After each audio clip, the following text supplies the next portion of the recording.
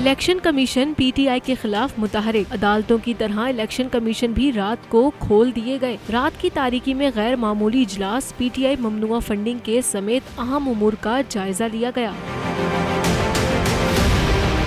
Election commission میں رات گئے غیر معمولی اجلاس ہوا، جس میں سیکرٹری الیکشن کمیشن نے پی ٹی آئی ممنوع فنڈنگ کیس ریکارڈ کا جائزہ لیا، جبکہ حلقہ بندیوں سے متعلق بعض ضروری امور کا بھی جائزہ لیا گیا۔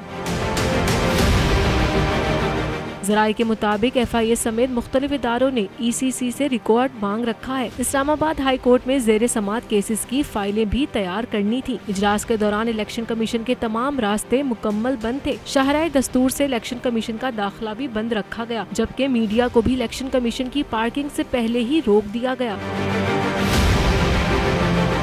اچانک رات گئے غیر معمولی اجلاس پر پی ٹی آئی رہنما فواد چودھری نے طنز کرتے ہوئے کہا کہ الیکشن کمیشن بہت محنت کرتا ہے۔ پی ٹی آئی کیس میں بھی پھرتی دکھائی، یہاں تک کہ زندہ لوگوں کو مردہ قرار دے دیا تھا۔ انہوں نے اجلاس کی طرف اشارہ کرتے ہوئے کہا کہ الیکشن کمیشن جو گڑبڑ کر چکا ہے، بس اس کو ٹھیک کرنے کی کوشش میں لگا ہے۔ سبسکرائب کریں اور بیل دبائیں تاکہ کوئی خبر رہ نہ جائے۔